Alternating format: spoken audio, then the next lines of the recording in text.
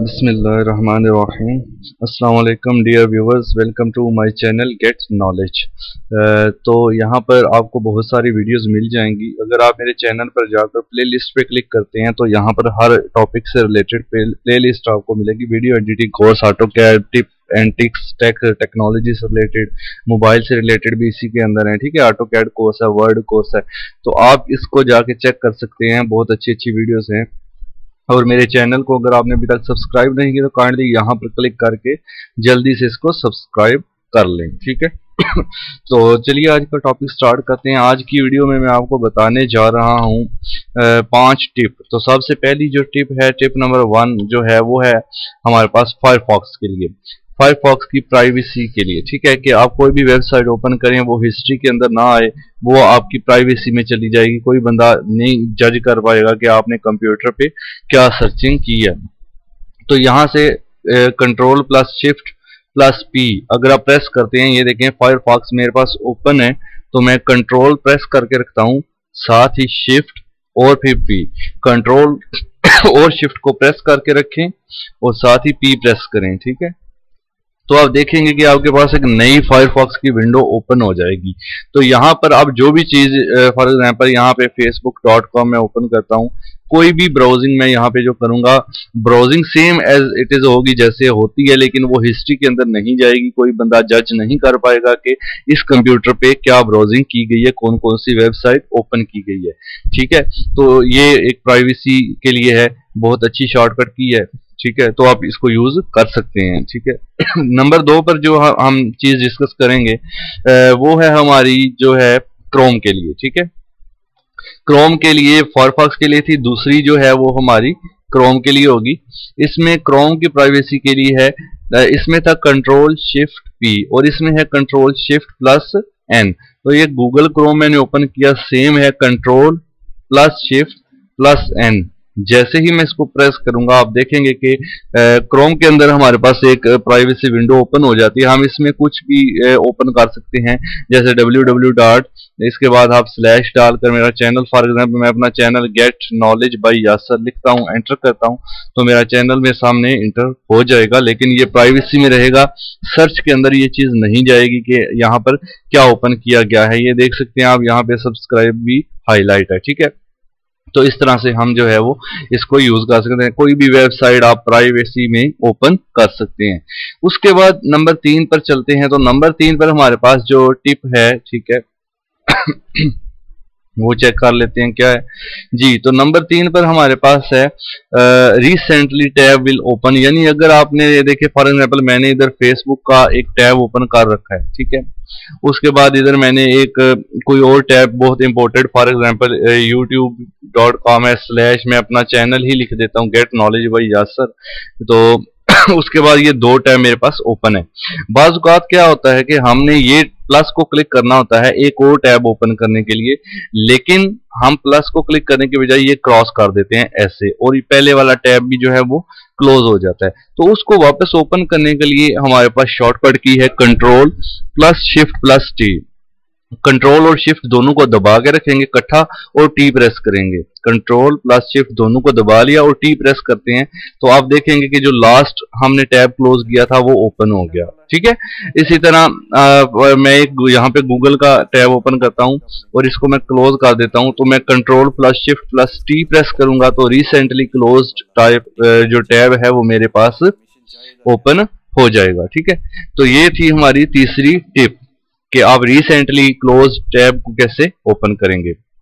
Number चार पर जो हमने चीज़ रखी है, वो है स्क्रीन शॉट बाई विंडो यानी हमने फॉर एग्जांपल किसी भी चीज़ का स्क्रीन फॉर ये लिखा हुआ है, जैसे ड्रॉप योर लिंक ठीक है, इसी का हम स्क्रीन शॉट लेना चाहते हैं. या किसी वीडियो के अंदर से कोई स्क्रीन शॉट लेना चाहते हैं, तस्वीर के अंदर से. ठीक है?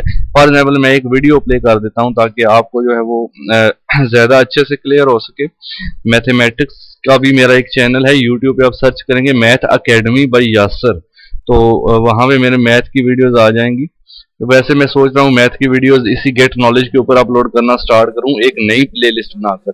तो जी, ये मेरी एक वीडियो है, इसका मैंने स्क्रीनशॉट लेना है तो सिंपल आपने कीबोर्ड से विंडो बटन प्रेस करना है।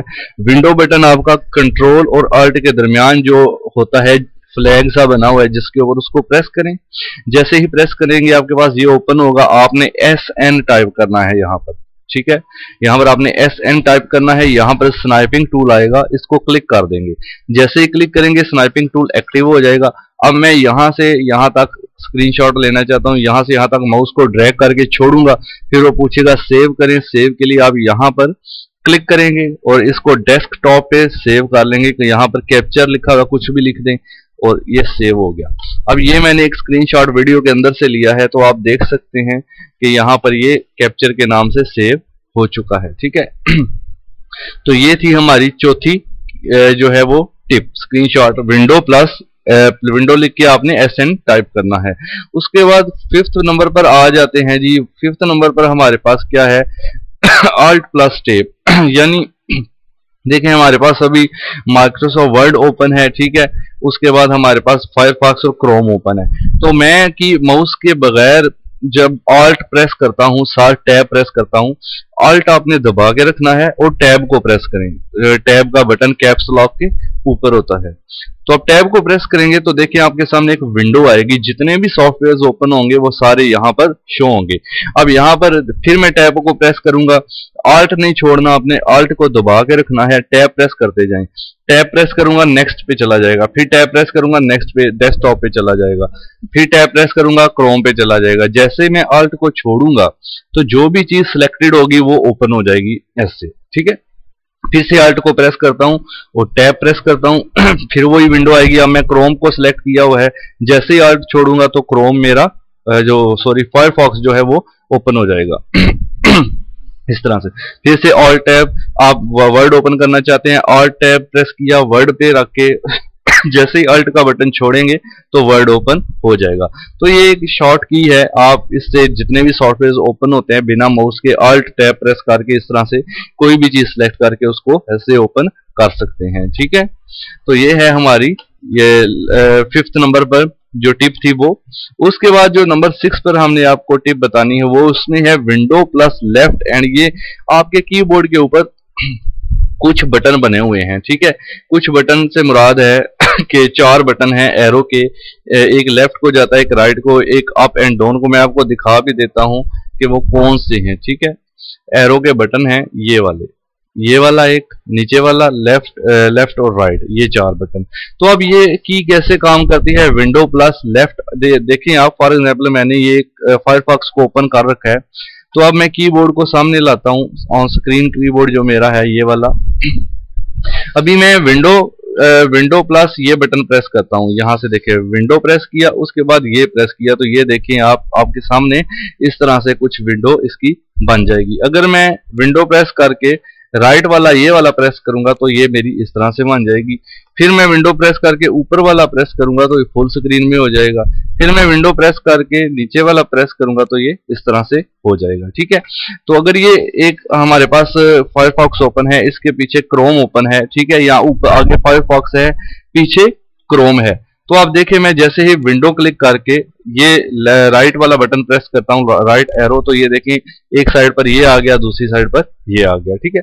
इस तरह से हम इसकी सेटिंग को कर सकते हैं। विंडो प्लस ये वाला प्रेस करूँगा तो ये मिनिमाइज हो जाएगा। फिर से विंडो प्लस ऊपर वाला प्रेस करूँगा। यानी ये लेफ़्ट पहले इसको सेलेक्ट करना पड़ेगा आपको। जो भी आपने अब मैं इससे कर रहा हूँ, मैं अपने कीबोर्ड से कर ये मैं मिनिमाइज करता हूँ कीबोर्ड से मैं आपको करके दिखाता हूँ।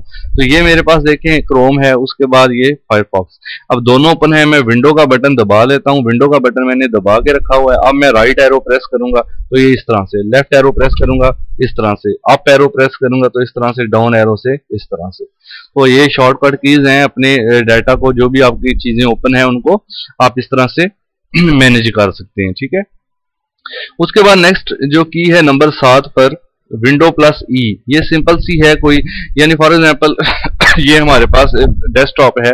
हमने माई कंप्यूटर ओपन करना है बिना माउस के तो आप क्या करेंगे, अपने कीबोर्ड से विंडो का बटन प्रेस करके रखेंगे और साथ ई का बटन प्रेस करेंगे। जैसे ही विंडो प्रेस करके रखा ई प्रेस किया तो माई कंप्यूटर ओपन हो जाएगा। अब इसको फुल स्क्रीन करना है तो वही की जैसे मैंने आपको पहले बताया window plus up arrow press करेंगे तो ये फुल स्क्रीन हो जाएगा।